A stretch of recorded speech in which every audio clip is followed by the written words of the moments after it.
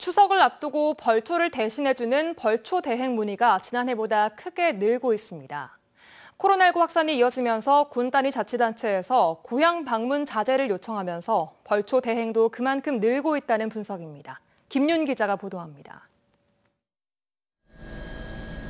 해남군의 한 야산에서 봉분 벌초 작업이 한창입니다.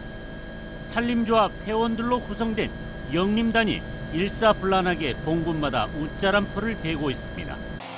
여섯 명으로 구성된 영림단 한 개반이 추석을 앞두고 하루 평균 4, 50기의 봉분 벌초 작업에 나서고 있습니다.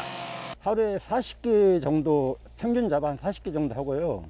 그 이제 힘든 건 이제 벌이 좀 무- 무섭고 그리고 더위 또 비 오면 비 오는 대로 또 힘들고요. 해남군의 경우 벌초 대행 접수가 코로나19가 확산되면서 지난 2019년 700여 건보다 두배 가까이 증가한 1280여 건에 이르고 있습니다.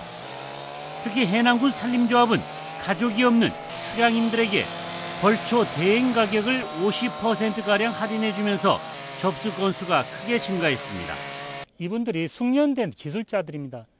그리고 안전 교육을 철저히 받은 기술자들이므로 산림조합에 하는 게 사고나 그 다음에 경비 면에서 훨씬 좋을 것이라고 생각됩니다. 민족 최대의 명절을 앞두고 각 지역 산림조합의 벌초 대행 작업은 오는 15일까지 이어질 것으로 보입니다.